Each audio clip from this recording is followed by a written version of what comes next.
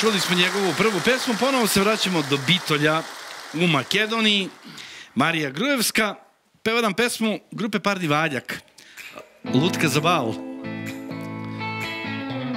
Menjamo fah iz Marije Šerifović do Parnog Valjka.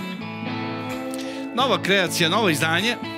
Jedna vizualna transformacija devojke iz Bitolja.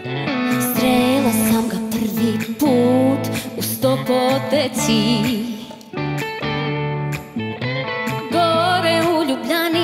trajao je bum festival.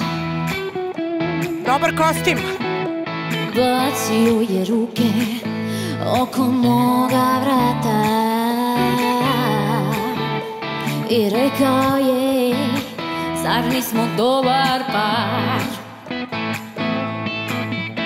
Hajde mali dođi u moju sobu Imat ćemo privatan bar Šteta bi bila da propadne stvar Kad kažeš da smo tako dobar par A, terca gore, a?